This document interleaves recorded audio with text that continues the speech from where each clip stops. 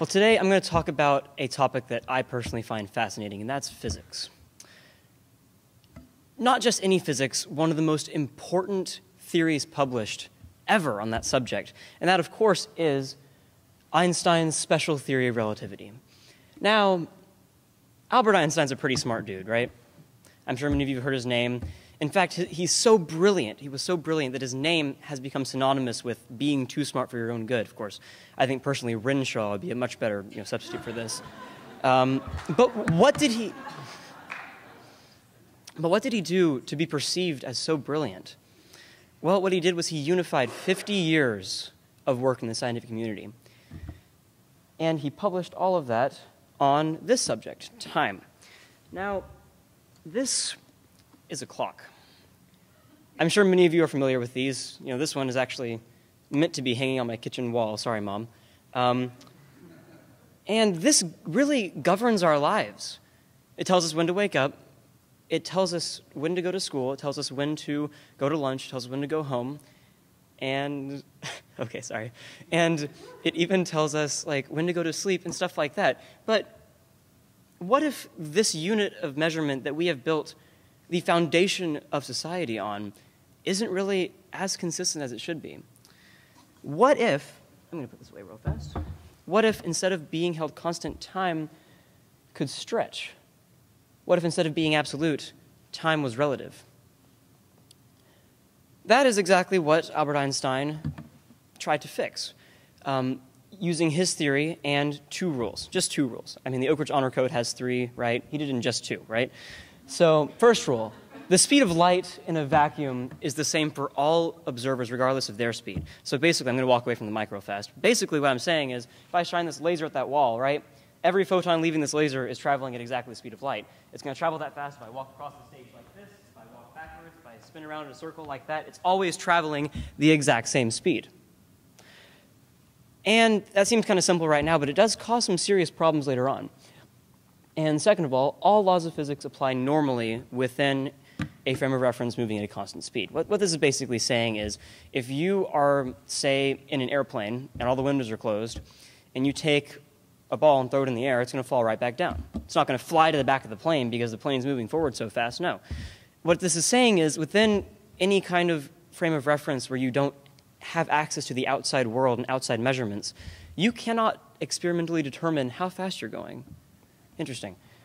So, to illustrate just the basics of relativity, we're going to use the highway analogy. Imagine you are standing on the side of, I don't know, Pioneer Parkway or something, right? You're watching cars go by. Yep. Um, and they're moving pretty fast, right? They're going straight along the road. And, but what changes if we are now one of the cars? Now the cars are stationary while a person, that idiot standing on the side of the highway watching cars, moves very quickly in the opposite direction. So, who's right? Well, they're both right. I'm sure many of you have experience driving cars, and I'm sure many of you noticed this. If you're moving on the highway with traffic, it feels like you're not really moving at all because none of the cars around you are moving relative to how fast you're moving. So, to explain why this doesn't work with light, I'm going to use a very simple analogy. It's the spaceship analogy. Uh, we have our impeccable Starship Enterprise right there who's going to demonstrate for us. And it is going to shine a light off of a mirror. Now, that laser is going to fly from the ship to the mirror and be bounced right back at the ship, right? Simple. So its path looks like this, right? Yes. Now we are at the standpoint of an outside observer, and we are watching the spaceship fly by as it shines this light. So we, we repeat the experiment while it's moving, and now, yeah, the animations are a bit off, I'm sorry. Now it makes a V shape. Okay, that makes sense, right? It's the same thing as with the highway.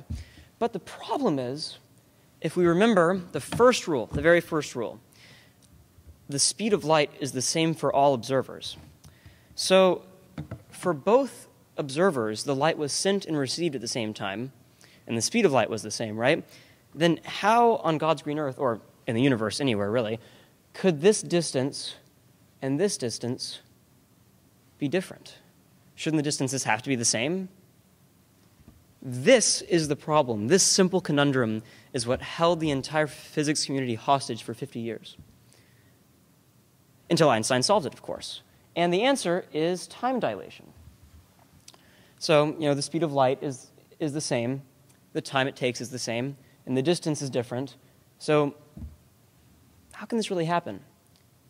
It's because time is not constant. This unit that we have based our entire lives on actually is completely malleable.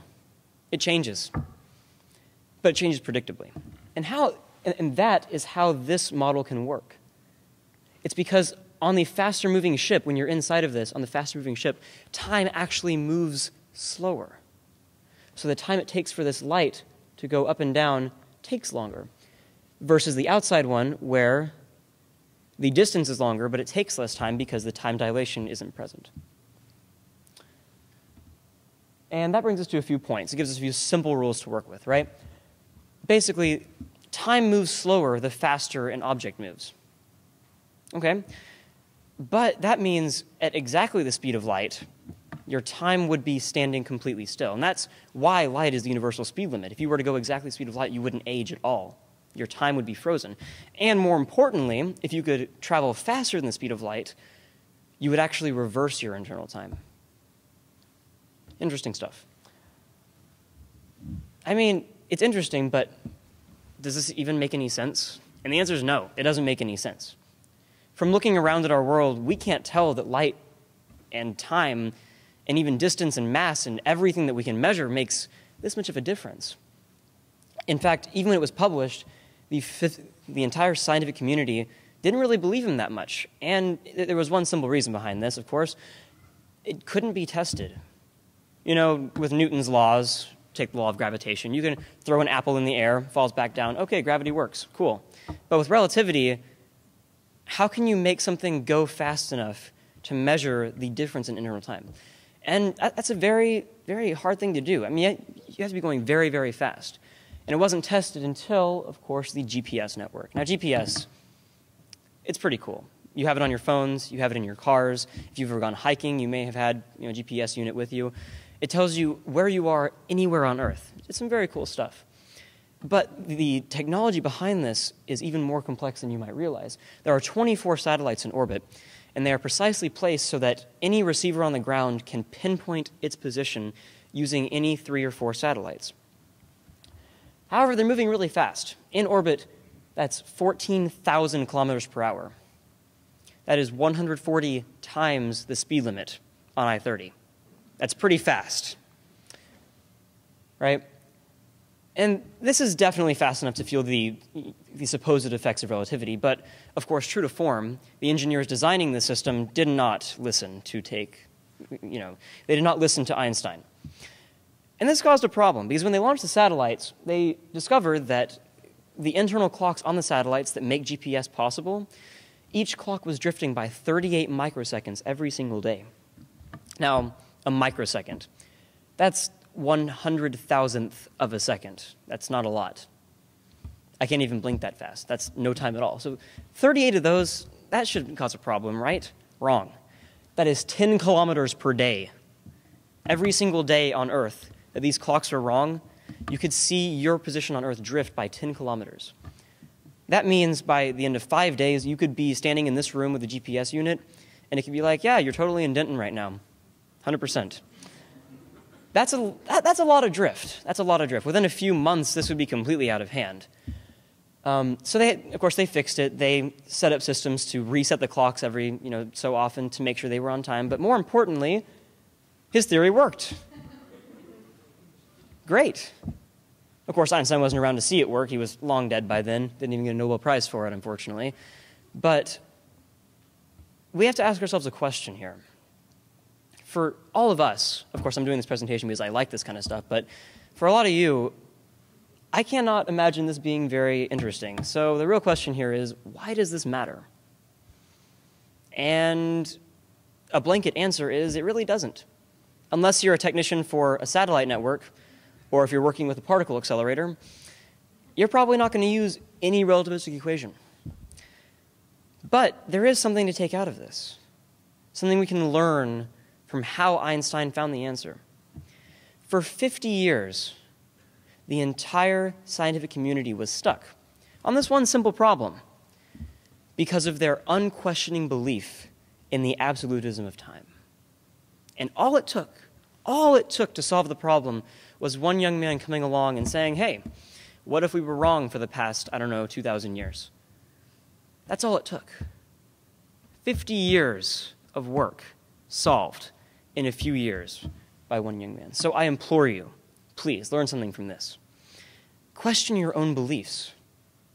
Prove yourself wrong once in a while. It's fun.